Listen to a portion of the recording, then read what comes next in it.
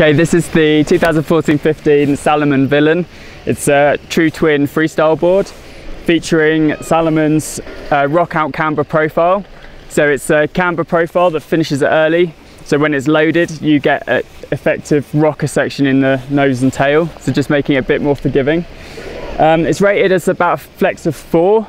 Um, I'd say that in the nose and tail, it actually felt very soft, so really easy to butter, nice and forgiving, like landing spins and, and such like. Um, and it has got the Popster booster in there, so it's which kind of reduces the chattering but doesn't take away from any of that kind of forgivingness uh, in there. Also, you've got the rubber sidewalls uh, sections under the bindings as well, just to help uh, reduce impact. And uh, yeah, it's a super fun all mountain board, freestyle board, would be great in the snow domes great all over the mountain. Maybe if you're like super hard charger, um, it's maybe just a little soft. If that's the case, maybe look at one of the other Salomon boards like the Assassin, just a slightly beefed up version. Um, but yeah, it's a super fun board to ride. It's not surprising it's been a very popular board uh, in the Salomon line. That's the uh, Salomon Villain.